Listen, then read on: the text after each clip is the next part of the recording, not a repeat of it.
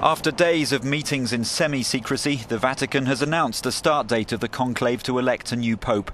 The all important day is next Tuesday, the 12th of March.